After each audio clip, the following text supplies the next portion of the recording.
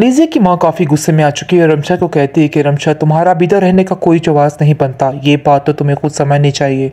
ये लहदा बात है कि अफनान इस चीज़ के मान नहीं रहा कि तुम इधर रहो। लेकिन ये बात तुम्हें खुद समझनी चाहिए। लेकिन अब देखेंगे कि जो रमशा है, वो कहती है कि, आखिर आप मुझे बताएँ कि मैं यहाँ से कहाँ जाऊँगी? आपको थोड़ा सा तो मेरे पे रहम करना ही चाहिए।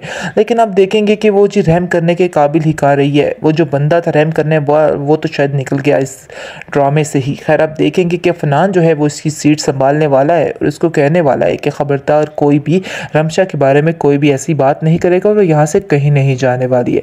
लेकिन रमशा को, यानी अलीज़े को ये बात हजम नहीं हो रही। अलीज़े बड़ी शदीद गुस्से में आ चुकी है और कहती है कि मुझे समझ नहीं आ रही कि इस लड़की की खातिर तुम अपने घर में क्यों लड़ाई झगड़ा फसाद डाल रहे हो? आखिर तुम्हें